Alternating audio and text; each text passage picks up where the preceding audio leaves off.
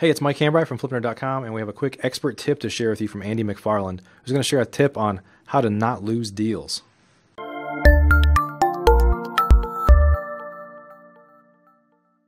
This expert tip is sponsored by RealtyMogul.com, B2R Finance, and National Real Estate Insurance Group.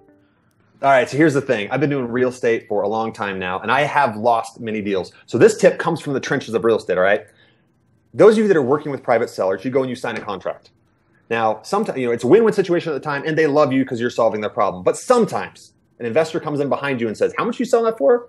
Uh, 80,000. I'll pay you 81, right? They get a little bit of seller's remorse. What happens then? I, it's what happens. They go dark. They stop returning your phone call. You're, you know, you're trying to line up this, the, the closing and everything, and they won't return your phone call anymore, right? What do you do when they're going dark? Well, here's what I do. Over the years, I've learned that we file a notice of interest on properties. So basically, the notice of interest is something that clouds their title saying, we have interest in this property by virtue of this contract signed on this date and we recorded against property.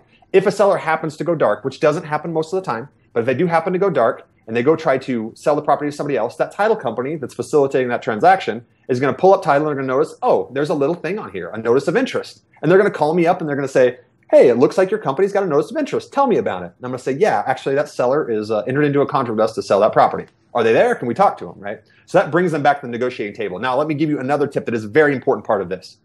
If you file interest against people's property that you have no interest in, or even if you do have an interest in that property, but you don't have permission to file that, wrongful lien suits are vicious. Do not do it. Don't enter into them, right? So I added a little clause into my contracts that gives me permission to do this. So when you're working with a seller and everything is happy because I'm giving them what they need and they sign this contract, here's the line that says in there. It says seller authorizes buyer to record a notice of interest on the property evidencing this purchase agreement. They're happy to sign that because that's the, it's, it is the agreement. And 99% of the time, it's going to go through and it's going to be fine. It's just that 1% of the time, they gave you the rights to, to uh, file that notice of interest, and that's going to save you your deal from that other investor that comes in there and tells them whatever he's got to tell them to try to you know get that deal from you. So there it is. That's the tip. Awesome, awesome. Hey, Andy, real quick question. So, do, does that mean you file them on 100% of your deals? Because of what I do, we just made it part of the system. We yeah. file on 100% of the deals.